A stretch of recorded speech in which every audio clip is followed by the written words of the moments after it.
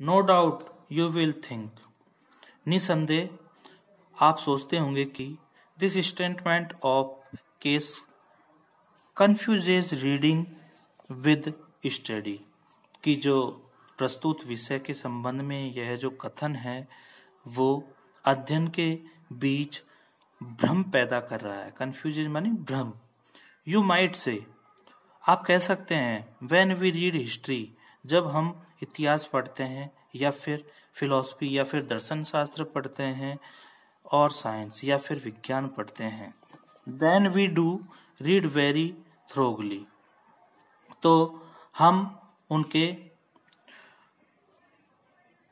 आसानी से पढ़ सकते हैं स्टडिंग अध्ययन कर सकते हैं ऑल द मीनिंग सभी अर्थों को बेरिंग ऑफ़ द टेक्स्ट और उनके शब्दार्थों को। या आप कह सकते हो उनके बारे में आप अभिप्राय है, उनको अच्छी तरह अध्ययन कर सक, सकते हो।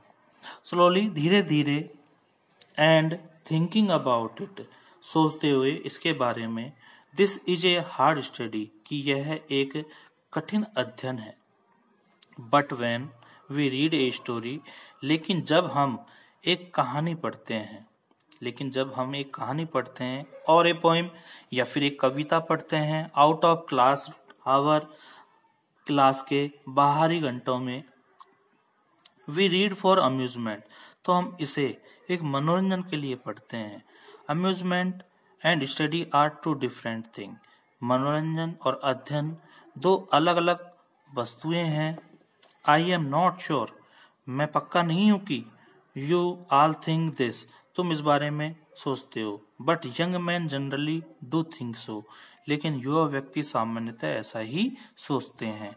As a matter of fact यही मामला सत्य है कि every book worth reading ought to be read is precisely the same way that a scientific book is read कि जो वास्तव में जो लायक पुस्तकें हैं वो उसी तरह पढ़ी जानी चाहिए, जैसे कि कोई विज्ञान संबंधी पुस्तक पढ़ी जाती है। साइंटिफिक बुक माने विज्ञान संबंधी।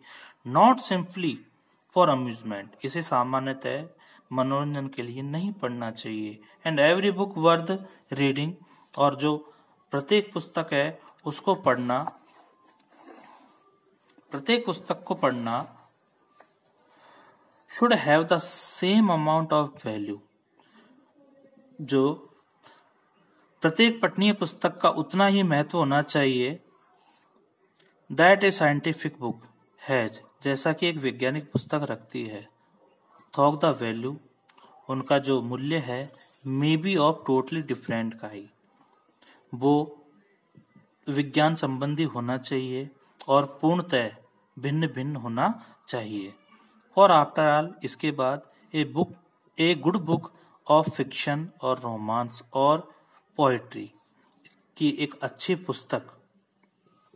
चाहे वो फिक्शन कथा साहित्य पर आधारित हो या फिर रोमांस या प्रेम पर आधारित हो या प्रेम के व्याख्यान पर आधारित हो या फिर कविता पर आधारित हो, ये जो साइंटिफिक वर्क वो एक वैज्ञानिक कृति रखती है।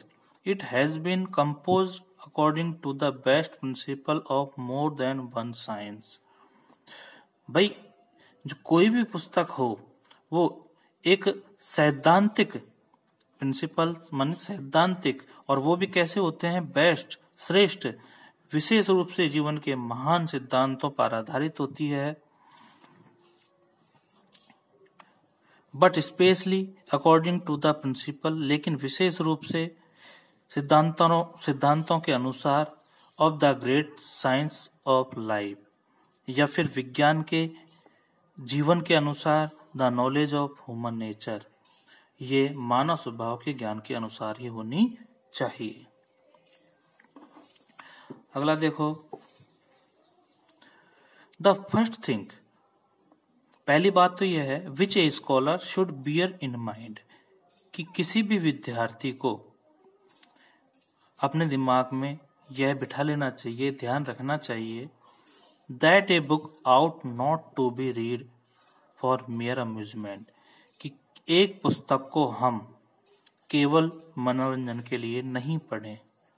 Half educated person read for amusement जो अर्ध शिक्षित लोग होते हैं या व्यक्ति होते हैं, वो केवल मनोरंजन के लिए पढ़ते हैं। Are not to be blamed for it जो इसके लिए इन्हें दोषी नहीं मानते। They are incapable of appreciating the deeper qualities that belong to a really great literature वे वस्तुतः श्रेष्ठ साहित्य से जुड़े गंभीर गुणों को पहचानने में क्या होते हैं? असमर्थ होते हैं। बट ए यंग मैन लेकिन एक युवा व्यक्ति, जो has pass through a course of university training जो या फिर जिसने विश्वविद्यालय का अच्छी तरह प्रशिक्षण या पाठ्यक्रम पूरा कर लिया है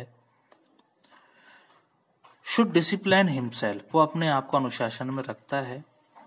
At an early day never to read for mere amusement और आने वाले दिनों में कभी भी वो उसे केवल मनोरंजन के लिए नहीं पढ़ता है।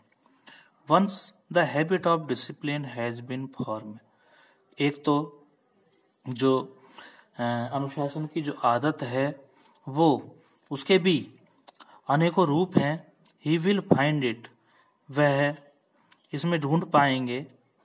Impossible to read for mere amusement कि असंभव है कि हम इसे केवल मनोरंजन के लिए पढ़ें। He will then impatiently throw down any book from which he can not obtain intellectual food कि एक बात तो हम ये जान लें कि फिर वह ऐसी किसी भी पुस्तक को जिससे उसे बौद्धिक प्रेरणा की प्राप्ति नहीं हो सकती, ऐसी पुस्तकों को पढ़ना या उसका अध्ययन करना उसके लिए ठीक नहीं है।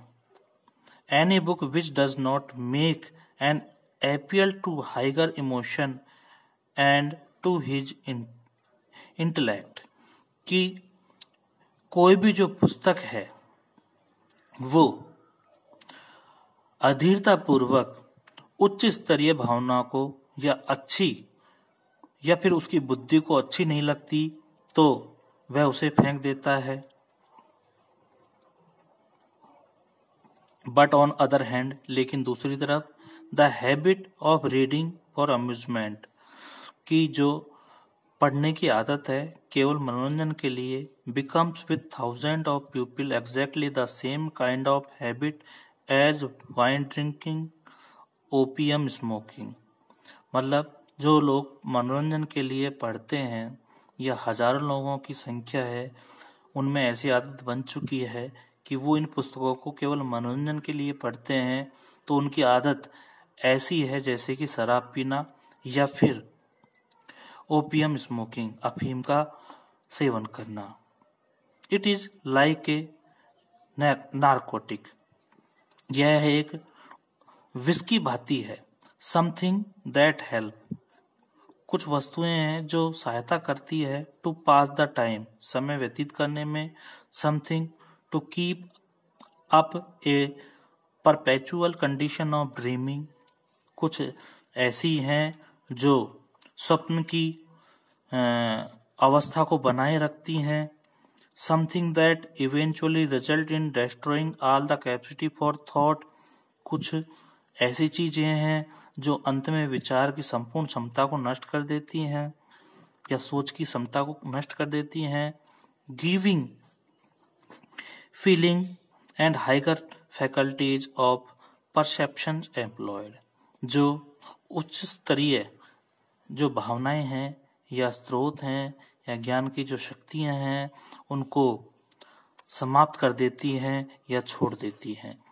तो जो ये पाठ है, वो हमको ये बता रहा है कि इस पाठ में एक पुस्तक को हम किस प्रकार पढ़ें, उसका किस प्रकार अध्ययन करें, पुस्तक को न केवल हम मनोरंजन के लिए पढ़ें, बल्कि उसको एक अच्छी सोच के साथ और साहित्य के, साहित्य को पहचानते हुए, एक प्रशिक्षण प्राप्त करते हुए उसके शब्दार्थों को समझें, उसके विषय को समझें और उसको अच्छी तरह एक कहानी और कविता के रूप में पढ़ें ताकि जो पुस्तक के बारे में ज्ञान है वो हमें प्राप्त हो सके, हमारा दिमाग ठीक रह सके और हमारी सोच ठीक रह सके। इस प्रकार इस पाठ के अंदर हमें बताया गया है। अगली वीडियो डालूँगा मैं। नेक्स्ट यहाँ तक पढ़ना और ढंग से इसका अध्ययन करना।